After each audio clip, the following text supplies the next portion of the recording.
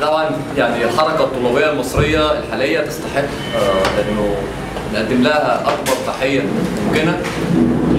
آه، ببدا كلامي بالكلام اللي آخر حاجة كان بيقولها زميلي قبل ما يقوم النظام مرعوب من الطلاب. دي حقيقة.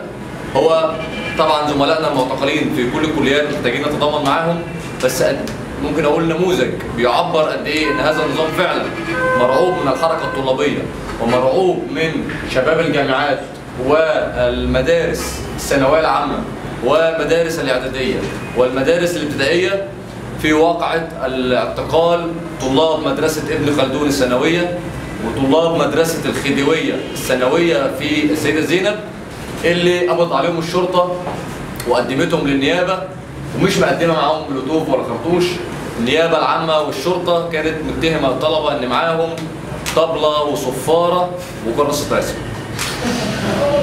دي حقيقي دي الأحراز اللي كانت مع طلاب الثانوية العامة اللي قبض عليهم نظام السلطة العسكرية الحاكمه.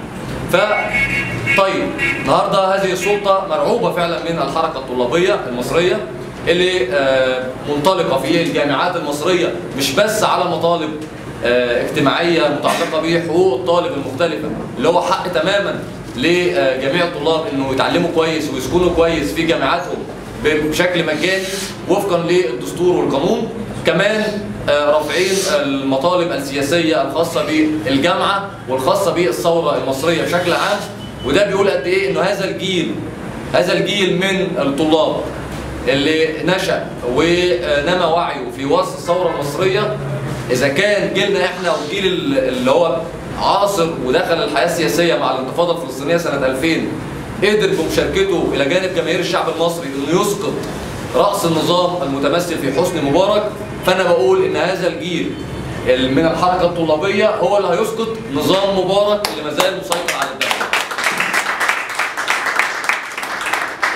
آه، أنا بحييكم وبدعوكم فعلا إنه آه، الحركة الطلابية في المواقع المختلفة تتضامن مع بعض- مع بعضها أنا شايف الجامعة والمعاهد الفنية كنت أتمنى أشوف الثانوية العامة كمان موجودة.